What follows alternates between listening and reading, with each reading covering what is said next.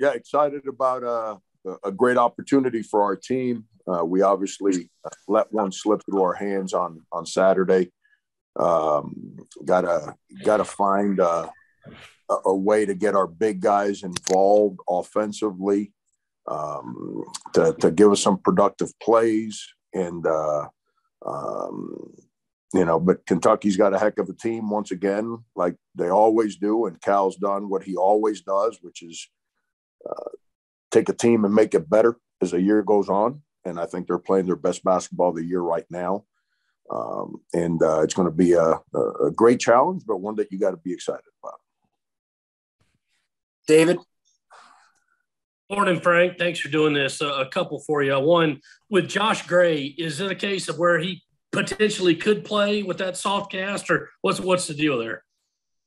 Yeah, can he play? Yes, I I didn't think it was fair to play him the other day. He tried, you know, he practiced and uh, he he never never appeared comfortable in practice, not because of pain. I, I mean, you know, basketball is not a sport that you play on the ground. You you tend to jump, and he's a shot blocker and a rebounder. Uh, if his legs get taken from him again, imagine having to put your arm down to break your fall, and you got a cast on it. Um, he just didn't appear comfortable. Uh, uh, you know, he was in good spirits and, and he he wanted to play. I made the decision uh, not to throw him out there. Uh, I, I think he'll be more at peace at practice today, and uh, I hope to, to, maybe throw him out there a little bit uh, so he can. His ball screen defense is the best on our team from the big spot, so it's we got to figure that Kentucky ball screens a lot, so we have to figure out a way to uh, to, to neutralize your ball screen coverage. And also, you mentioned in post game and just now about the the lack of production from the big guys. I mean, not to, to sound uh, you know obvious here, but how big of a concern is that when you have to try to stop Oscar Tshiebwe? Yeah, I, I, you know I don't know if it's a concern.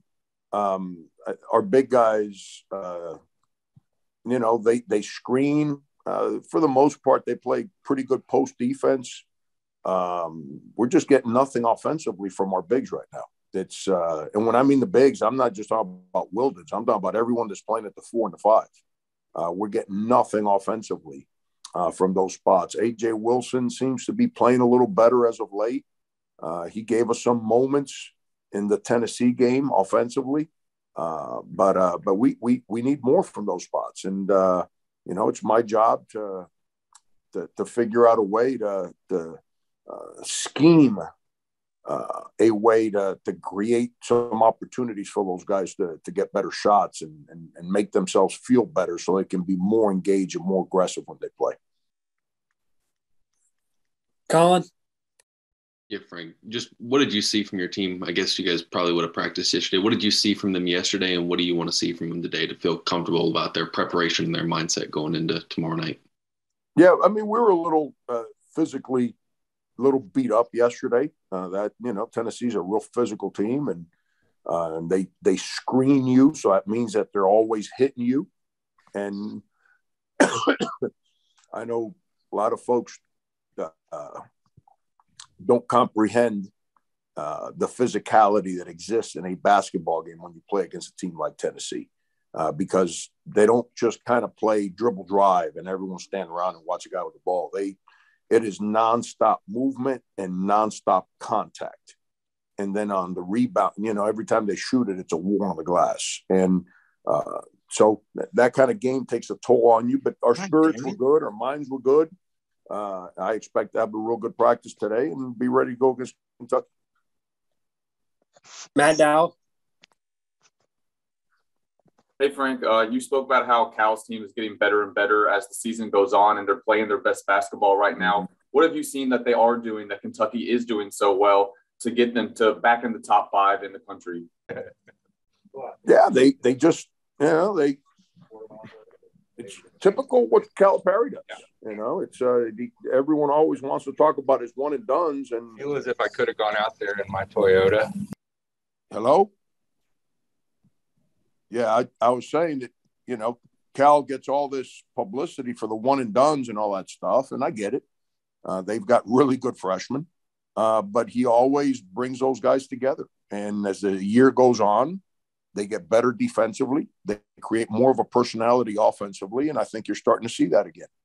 Uh, TyTy Washington's a special player, uh, and and you know when he's healthy, they've been pretty good. You know the games that he's missed because of the ankle injury, that's when they've kind of uh, had some moments where maybe they didn't play as well offensively. But uh, uh, Davion Mintz is an older player. Uh, uh, uh, you know, Wheeler's been around the block and he's a dynamic, aggressive point guard. Uh, Tshiebwe's been around for a while, and you know, even though he wasn't in Kentucky the whole time, uh, but he's been around for a while, and he's he's a load in there. Um, you know, Toppin's been around forever. Uh, uh, Keion Brooks has been around. I think this is his third year. So if you you you know Grady's a fifth year player, you actually pay attention to the guys that are playing. They're older players, and uh, uh, and and he's he's brought them together, and that's that's what makes them uh, a tough tough team to play at this time of year. Alex Jones. Williams was playing well in non-conference play. It's kind of seen his production fall coming into conference play. Just what have you seen from him that's kind of caused him to struggle lately? Uh, the opposition is pretty good. it's it's uh, it's just it is what it is. It's uh um, you know uh, for for big guys to to play well, your point guard play has to be consistent. And our point guard play has been up and down. We got dudes that are really trying. Uh, two of them are true freshmen, and and it's you know it, when you play true freshmen at point and you're playing the SEC, uh, it's not going to be. A, a, a, it's a roller coaster ride. You got peaks and valleys, and and then Jermaine, who had been playing well, and then just didn't. I don't just didn't didn't have very good game against Tennessee. Uh, we need him to play better. We need him to play well. And when if you connect the dots on our team, when Jermaine plays well, we tend to play well. And uh, you know, it's very important that that he have a good practice today and, and is in good spirits and uh, and then goes out there and, and contributes uh, uh against Kentucky. And then you know, whenever whenever your point guard plays well, your bigs tend to play better.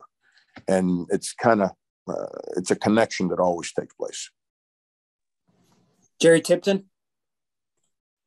Yeah, Frank, I wonder how uh, Leveque is playing for you guys. Uh, you know, Jerry, he's he's uh, he's not playing great, um, but it's not for a lack of effort and lack lack of desire. Um, uh, he's he's struggled rebounding the basketball, um, which when you go against Oscar, uh, I don't need him to, you know, go tit for tat with Oscar on the glass. I just need him to put his body on Oscar and make sure that that he doesn't get a rebound. Um, um, you know, but he he uh, we need him to play better. Uh, it, it's uh, the two things that have completely tied at the hip with our team is when Couisnard and Leveque uh, play solid offensively, we got a really good chance to win and and we need those two guys. Uh, Leveque needs to play better offensively. He's not played well offensively in a while. Um, probably since the Vanderbilt and Vanderbilt game, he has not played well uh, offensively. And uh, um, you know, so we we got to figure out a way to help. It's because it's not for a lack of desire, not for a lack of care. And I wonder too, Kentucky, as you know, they got Oscar in the middle. They got Grady shooting threes. Uh, Keion Brooks has come on. You got Sahvir. How tough is it to defend a team that has so many options? Yeah, it's it, and they're it's not just options, but they're old options. You know, it, it, it's think about it. TyTy Washington's a special player. I saw him in high school, special player, and he's he's done special things at Kentucky, but he doesn't have the burden of winning on his shoulders. Uh, Sahvir Wheeler deals with all the playmaking. Uh, you got Mintz and and you know Grady, two guys have been in college. I think they've been playing since I was at Kansas State, and and you know, and th- they have tremendous personality and and and discipline and consistency, and they're both shot makers. Um, you know, then you got Brooks and you got Toppin, and and and you know Lance Ware goes in there and gives them a great great minutes of energy when he's in there. Oscar's an older player. Uh, you got a lot of older guys in there uh, that really, really understand how to play and what it takes to win a league game over 40 minutes. And, and that's that's a thing that makes them really, really hard to deal with. Thank you. Michael and Anna. Frank, Frank, it seemed like uh, in the first half uh, the other day, Minot was showing, you know, some, some good things, some scoring ability near the rim, things like that. Just curious, kind of what has he shown? What's his development been like? I know conditioning has been a big thing for him, but where is he kind of on his journey right now? Yeah, it's not it's not so much conditioning uh, anymore. He is in like way better shape than he's ever been. Um, uh, he has that ability. I mean, you saw him kind of catch the ball and make a layup, which eh, you weren't alone. I jumped out of my seat because I haven't seen that from one of our bigs in a while. Uh, just a simple catch and layup, and um, and, and, he can do that for us. Uh, defensively, he's got to be, you know, a, a, lot more competitive, for lack of better words. Uh, um, you know that we had a lead late in the first half and we gave up the lead because they put him in a ball screen and he did not defend the ball screen the right way on back-to-back plays um, and you know he's got to be and and that's a that's that's a a um, that's a responsibility from the bigs that's very important because you know michael it's real simple you play a team like tennessee that screens and they hit you when they screen you and you're the guard and i'm the big and my guy comes up and knocks you upside the head and I don't call the screen and then I don't give you the support, that's deflating. That that you don't, don't want to defend with the same enthusiasm that you need to defend. And and and that's where he's got to get a lot better. He's he's not as consistent as he needs to be in those kind of plays and and and those deflating plays. Um, it's not just a mistake that happens in the moment it's it's a deflating play that then doesn't give you the fervor that you need to deal with the physicality of that moment. And uh, and, and and that's where he's got to get a lot better for us. Mike Cuva. Frank, we talked about it after the game the other day about the end of the day, you know, just being able to, to score with you over the years of coaching, have you noticed a difference with maybe some of the younger guys in, in terms of how you approach them, maybe even in practice, um, if their confidence isn't there from a scoring standpoint? Because obviously you guys have a lot of upperclassmen and they've gone through function parts parts of their career. But have you had to maybe talk to them a little bit differently than the upperclassmen, or is it kind of the same way you, you feel like? Well, we've got just like everyone else in the country, got a lot of first year players, whether they're older or, or freshmen. And um, you know, so you you you cannot be as uh, uh, uh, you can't pressure them from a demand standpoint the way you would if you got older players, uh, because they're all still trying to figure it out. That's number one. Number two, uh, if you're going to beat top 20 teams in the country, you got to score. I, I, will give you a simple example with the same teams, same two teams, including us, uh, over the years. My third year here, uh, we played Texas A&M. They were top 20 in the country. They had Danuel House. They had this other guy who's also an NBA guy. And we had Sindarius and, and, you know, he was a sophomore and Duane was a sophomore and uh, Michael was a junior. And we went nose to nose. They beat us like 55 to 48 or something like that. I couldn't have been prouder of that team. But at the same time, I was crushed after the game because we shot 29% from the field. And it was hard to do. Well, if you hit fast forward, the same two teams played. A&M came in again, top 20 in the country. And actually we went there and they're they're top 10 if I'm not mistaken. And now those guys are a year older and we scored 78 or something like that and we beat them if you're going to beat top 20 teams in the country, you have to score. You got to make shots. And and if you shoot 30% from the field, that's not going to get it done. And and that's unfortunately that's what happened to us the other night. Colin. Yep, Frank, just two for you. With so much inconsistency at the point guard spot and at the four and the five, do you look to shake up a starting lineup at all going into this Kentucky game? And, and secondly, just what can you do from a schematic standpoint um, to really scheme up maybe the bigs and the point guards to have more of an impact offensively? Well, from a schematic standpoint, that's my job, and and you know I'm not I'm not going to make an about face from who we've been because it's not like we're failing miserably. We're a good team. Uh, we we we had a bad second half the other day, uh, uh, but I do have to figure out how to be more helpful for those two places at the point guard and at the center.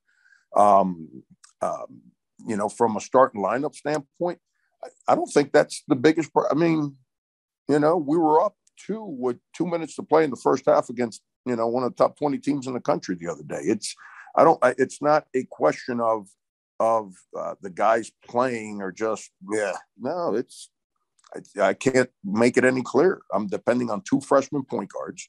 That's really hard but they're they come in and they work their tails off. They deserve me being in their corner. And and then Jermaine, who's unfortunately had a very difficult year, and he had been playing well, but didn't play well against Tennessee. And uh, we just need those three guys to come in here and be good today and be ready to go tomorrow.